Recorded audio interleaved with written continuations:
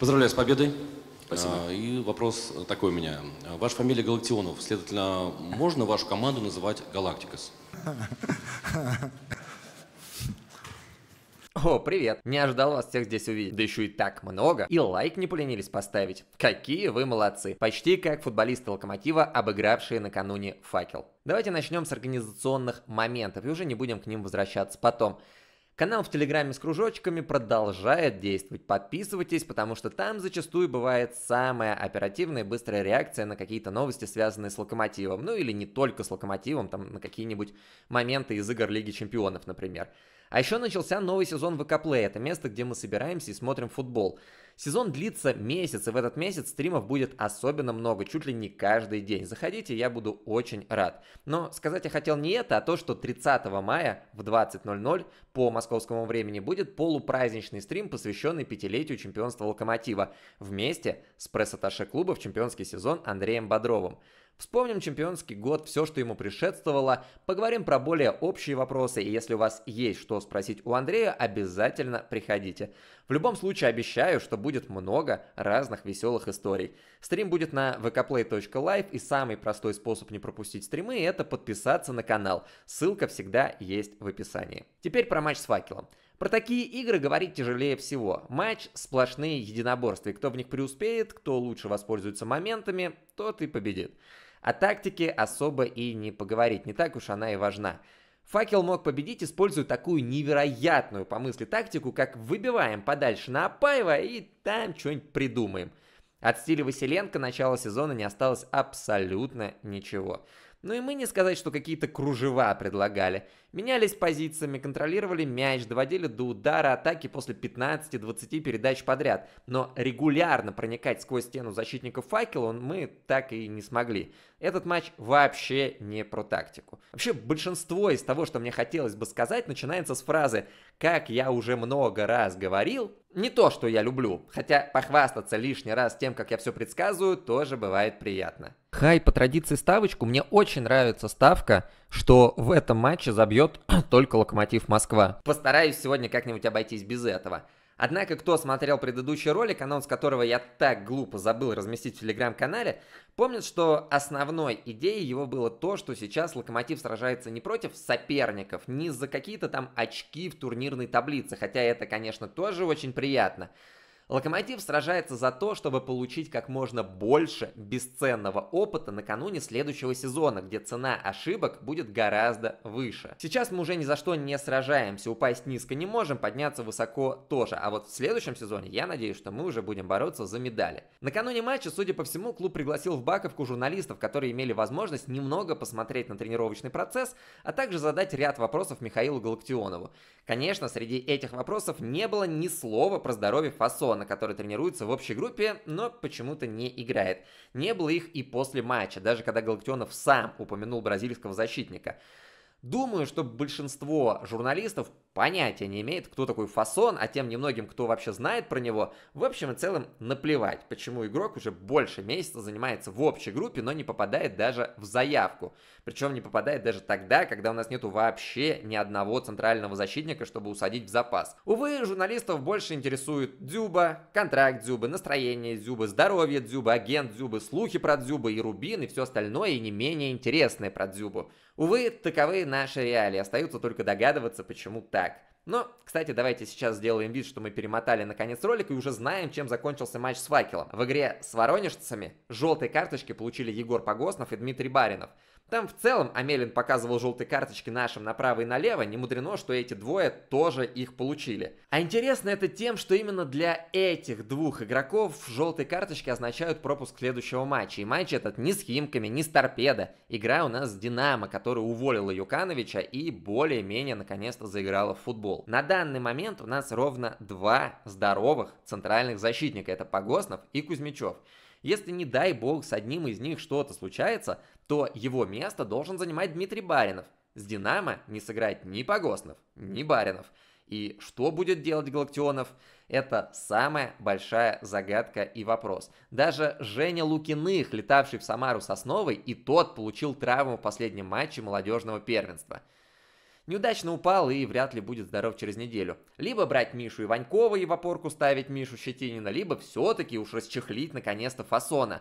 Но будет странно, если Лукас не попадал даже в заявку, а потом бац, и 90 минут с Динамо проведет. Так что много головной боли предстоит Галактионову.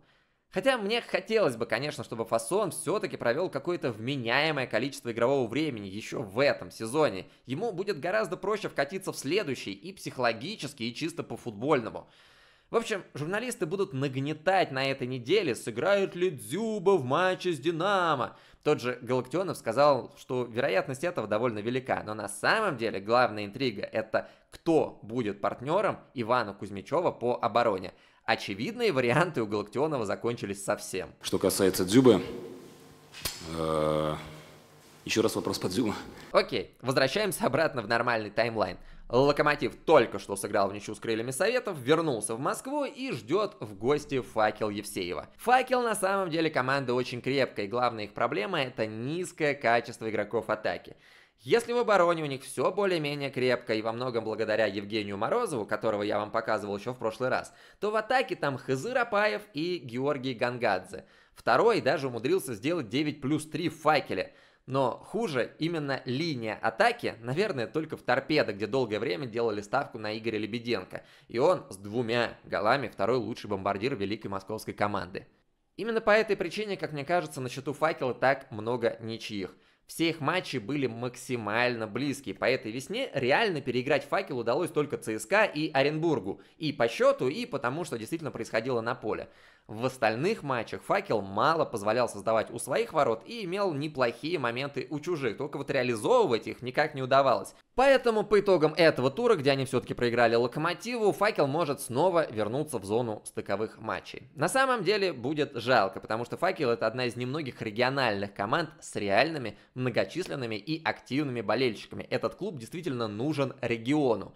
Матч был домашний для Локомотива, но из 6 тысяч официально пришедших на матч человек, 2 тысячи поддерживали факел, и слышно их было очень хорошо. Хочется, чтобы именно таких команд было побольше в РПЛ, а не спецпроектов без болельщиков, которые сегодня есть, завтра бюджет распределен, и этих клубов уже нет. Примеры, я думаю, вы и сами прекрасно знаете. Задача перед Локомотивом была непростой. Факел действительно изо всех сил борется, чтобы не вылететь, а Локомотив борется, по словам главного тренера и футболистов, за престиж и за то, чтобы повышать качество своей игры. Согласитесь, мотивация футболистов Факела выглядит более весомой. Ну и добавляем ко всему проблемы Локомотива с составом, главный из которых пресловутый Артем Дзюба. Почему это вообще так сильно влияет на качество нашей игры? Ну, понятно, что он за 9 матчей забил 8 голов и еще 4 голевых передачи отдал.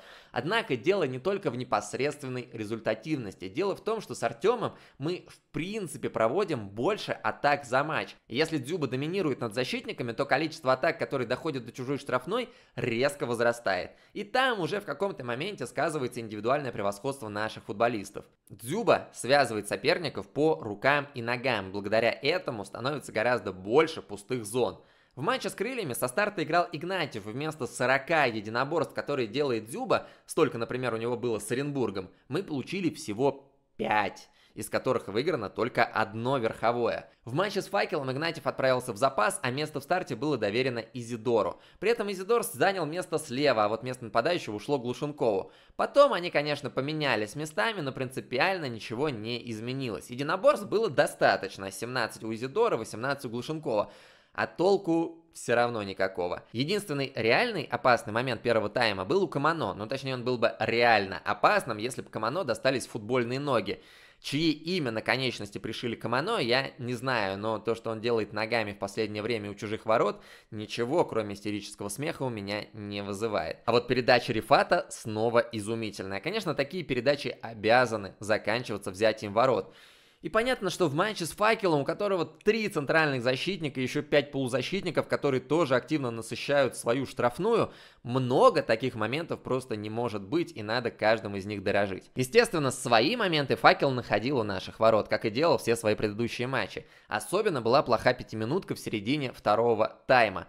Хорошая закидушка на правый фланг за спинами Таю и Ракову, идеальная скидка в центр, и Акбашев бьет мимо из убойнейшей позиции – Затем навес Черова находит голову все того же Акбашева. Здесь стоит отметить ушедшего со своей позиции куда-то погостного и отсутствие подстраховки со стороны какого-либо из опорников. Это ведь тоже база. Если у тебя ушел центральный защитник во фланг, опустись на его место. Тем более там один Акбашев на линии вратарской. Хорошо, что Лантратов спас.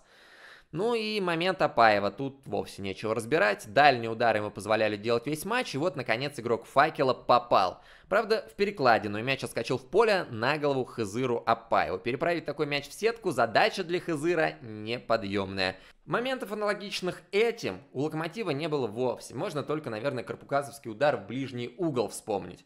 Но Потом мяч подхватил Антон, обыгрался с Вадимом Раковым, получил качественную передачу на ход, очень круто прокатил мяч под ногой, особенно обращая внимание вот именно на этот микромомент и со всей силой пробил в левый угол. Красивый и очень индивидуальный гол Антона, хотя, опять же, вот тот период, который он вышел со скамейки и до непосредственно гола, Антон провел довольно блекло. А Вадим Раков отдал свою первую голевую передачу за «Локомотив» в возрасте 18 лет и 132 дней. Ждем и первого официального гола. В последних матчах Галактионов доверяет Ракову все больше игровых минут, так что возможности, я уверен, будут. Тяжелая и не самая очевидная победа Локомотива, но, видимо, так и должно быть в футболе. Где-то ты проигрываешь матчи, которые должен выигрывать, а где-то выигрываешь то, что не совсем твое. Другое дело, что Локомотив практически перестал отдавать игры без боя, как это зачастую было осенью. Параллели с игрой первого круга на самом деле вполне уместны. Ни Локомотив, ни Факел не играли принципиально лучше или хуже, чем тогда осенью. Однако, если в первой игре мы пропустили и сразу же сдались, то здесь и не пропустили, и до последних минут не опускали рук, и это принесло свои плоды. Это плоды тех самых побед над Краснодаром и Ахматом, которые вселили уверенность в игроков. Что не говори, а есть некая эзотерика в футболе, иначе как вы объясните очередной выход Севильи в финал Лиги Европы? Удача улыбается тем, кто уверен в себе и своих способностях. И наоборот, если ты в себя не веришь, тебе начинают залетать какие-то сумасшедшие мечи. Осенью мы в себя не верили. Сейчас картина поменялась и поменялось количество очков, которые мы вырываем в равных матчах или даже в тех матчах, в которых мы смотримся явно хуже, как с ЦСКА. По оценкам сегодня все просто. Оценки по ходу просмотра матча, кстати, полностью совпали с оценками статистических сервисов. Из полевых игроков стоит отметить Карпукаса, который пробил отметку в 100 отборов за сезон и скоро станет единоличным рекордсменом российской премьер-лиги по этому показателю.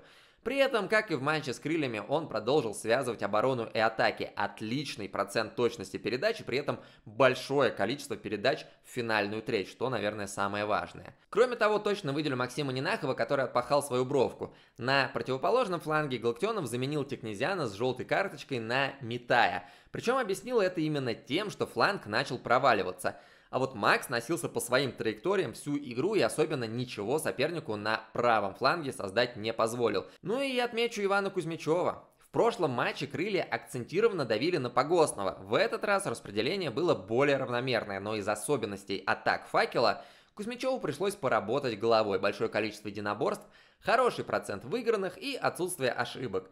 Если б только можно было такую игру Кузьмичева поставить на поток – но наверняка же в следующем матче порадует нас каким-нибудь обрезом или подскользнется на ровном месте. Эх, все это уже видели. По худшим на этот раз, наверное, Камано, который загубил вернейший момент и много раз пытался пойти в обводку, но практически ни разу не прошел соперника.